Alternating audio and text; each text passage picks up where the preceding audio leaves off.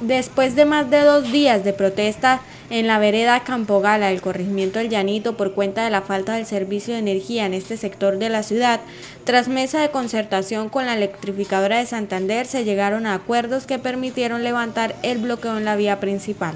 Bueno, comunidades y eh, personas en general, hoy se ha llegado a una mesa de concertación con la empresa La ESA con respecto a las inconformidades que tiene la vereda y su corregimiento, eh, pues llegamos a muchos compromisos para poder este, brindarnos un servicio más digno a la comunidad. Van a haber unos encuentros en cada vereda para hacer recorridos y mirar las inconformidades que hay y las personas que de pronto en el momento no tenemos un servicio legal, iremos a, a pasar legalmente para tener el servicio. Desde la electrificadora de Santander se habló de lo realizado en la mesa de trabajo con la comunidad de la vereda Campo Gala.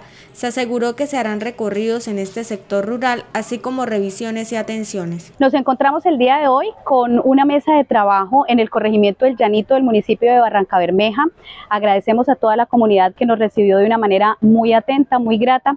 Eh, en esta mesa de trabajo que desarrollamos el día de hoy, concluimos algunos compromisos en relación a la prestación del servicio de energía.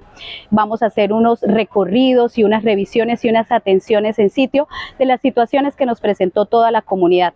Queremos recordar que desde Electrificadora de Santander nuestro sentido es servir, servir con calidad, atender y escuchar a nuestras comunidades y eso lo logramos el día de hoy de común acuerdo eh, con toda la comunidad que representó a las diferentes veredas del corregimiento del Llanito. Muchas gracias por esa recepción, muchas gracias por los acuerdos a los que llegamos y nuestro interés, como lo digo, es la prestación del servicio con calidad. Tras llegar a acuerdos entre las partes involucradas, el bloqueo se levantó de manera pacífica, el cual afectaba a los habitantes del corregimiento del Llanito.